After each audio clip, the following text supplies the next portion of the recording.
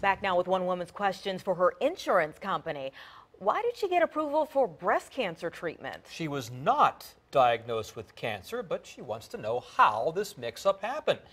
She wasn't getting answers, so she contacted 10 on Your Side. Our Jason Marks has more for us tonight. Jason? Tom, imagine getting that call saying you have breast cancer. Well, a woman had that happen to her, and now she wants to know how that happened.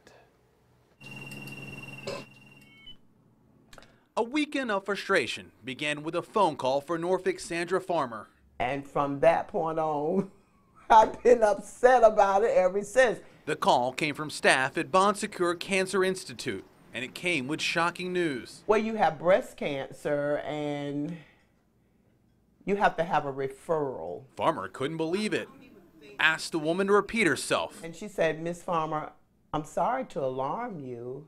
I said, wow, alarm is not the word, ma'am, because I do not have breast cancer. No breast cancer.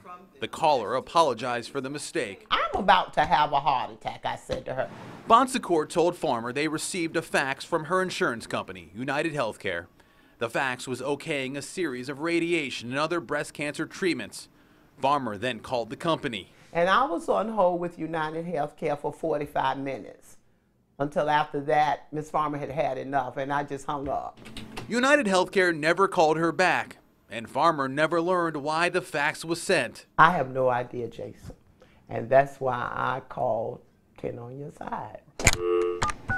We got in touch with United Healthcare first thing this morning. Eight hours later at 5 o'clock, they told us it was a complicated issue and they're still working to track down what happened. We never got a response from Bon Secours. I was satisfied with United Healthcare before this happened. Now I don't have any trust in them whatsoever. Now, officials with United Healthcare told me they're going to look at the issue. They're going to continue to do that, and they'll let me know as soon as they find the cause. When that happens, I'll certainly pass it along to you. Jason Marks, 10 on your side.